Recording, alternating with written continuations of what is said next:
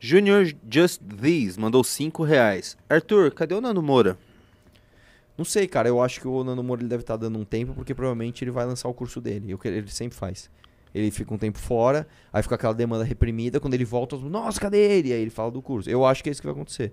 E ele tava bombando o Nando Moura. Tava grande o canal dele. Tava bem. É que também é o seguinte, cara, uma coisa que eu percebi, não do Nando Moro, mas de todo mundo.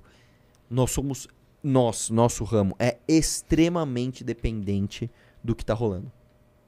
Total. É diferente de, por exemplo, um artista, ele é muito dependente do último álbum dele. Então, Sim. por exemplo, seu, seu último, seu penúltimo álbum foi muito bom, seu último álbum foi uma merda, esse cara tá fudido. Ele, ele não é chamado pra. Mas ele é dependente do trabalho dele. Ele é dependente é, do que ele cria. Nós somos dependentes do que a gente cria a partir da realidade. Sim. E esta realidade, é, às vezes, ela simplesmente não é interessante. Então, por exemplo, é, se a gente for falar pela vigésima vez aqui de corrupção nos Correios, ninguém vai querer saber, ninguém vai assistir. Né? Não deixa de ser realidade, mas não é uma coisa nova. Sim. Do mesmo jeito que você pegar uma semana onde o Arthur Duval, mano, solta os áudios mais famosos da história do Brasil. Um mendigo faz sexo com uma mulher é, dentro de um carro.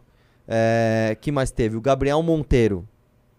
É, tipo, é, é, fica o, o alvo de todo mundo. É, que mais? É, são- foram quatro coisas. O Will Smith dá um soco na cara do Chris Rock No Oscar. no Oscar.